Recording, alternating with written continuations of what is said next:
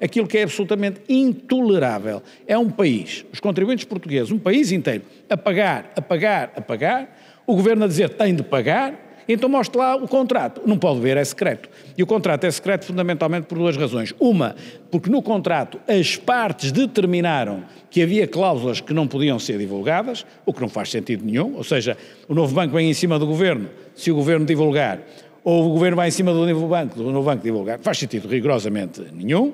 Eh, e também por força da lei global do sigilo bancário, que nós eh, vamos eh, não revogar, como é evidente, vamos respeitar o segredo de Estado. Há muito poucos deputados que conhecem, 4, 5, 6 deputados, e que não podem dizer a ninguém porque aquilo está fechado, como se costuma dizer mesmo, a sete chaves, não é? A pergunta que eu faço é, porquê o que é que o contrato tem de especial que tem de ser escondido dos portugueses, ou seja, escondido daqueles que têm de pagar? E pagar não é pouco, como todos sabem, não é?